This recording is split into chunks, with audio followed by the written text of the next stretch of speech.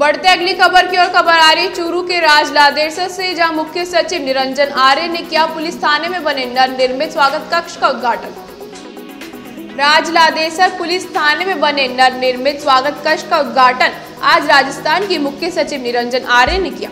बीकानेर जाते समय अल्प विराम के लिए रुके निरंजन आर्य ने स्वागत कक्ष का लोकार्पण कर थाने का निरीक्षण किया और व्यवस्थाओं का जायजा लिया। इस दौरान निरंजन आर्य ने कानून व्यवस्था बनाए रखने के लिए राजलादेसर थाना अधिकारी की तारीफ़ के साथ ही पुलिस के जवानों का हौसला भी बढ़ाया। इस दौरान मुख्य सचिव निरंजन आर्य ने राजलादेसर रतनगढ़ में रुककर आमजन की समस्या सुनी, सरकारी योजनाओं की जानकारी दी इस दौरान मुख्य सचिव निरंजन आर्य के साथ जिला कलेक्टर सावरमल वर्मा व चूरू पुलिस अधीक्षक नारायण टोगर सहित आला अधिकारी मौजूद रहे। उच्च अधिकारी मीटिंग लिए है। क्या दिशा निर्देश दिया? आगामी दो अक्टूबर राजस्थान सरकार द्वारा के संग ये एक बहुत बड़ा अभियान दो अक्टूबर से शुरू हो रहा है, जैसा कि आपने बताया।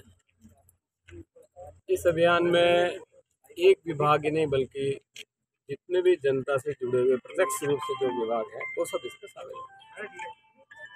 और हर ग्राम पंचायत पे ये शिविर लगेगा।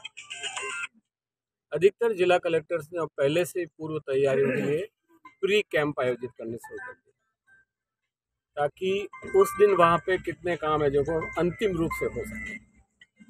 तो हमारे इस दौरे का मूल उद्देश्य यही है कि जो माननीय मुख्यमंत्री जी ने प्रशासन गाँव के संघ का जो अभियान है, उसकी पूरी तैयारियाँ हो, सारे जिला प्रशासन और संबंधित विभाग उसमें जुड़े, आपस में समन्वय हो और अधिक से अधिक लोगों के इसमें काम और राहत मिल सके इसके साथ सरकार की बहुत फ्लैगशिप स्कीम्स बहुत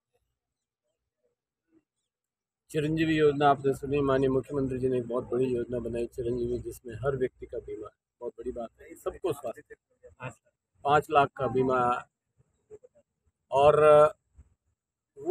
उस योजना का व्यापक प्रचार प्रसार हो लोगों को पता चले और लोग उसका सिस्टम में फ़ायदा उठाए। तो ये हमारी कोशिश है कि किस तरह से इस योजना का प्रचार प्रसार हो लोगों को फ़ायदा उठाए।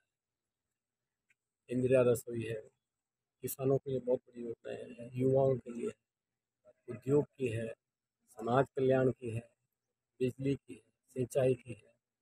अधिकतर विभागों की जो महत्वपूर्ण फ्लैगशिप स्कीम्स है तो ये ज़रूरी है कि नीचे जाके आप देखिए कि उनका क्रियान्वयन कितना हो रहा है लोगों का अब हम मुख्य सचिव के रूप में आप जयपुर में बैठ के मीटिंग करते हो, आपको रिपोर्टिंग होती है फ़ाइल देखते हो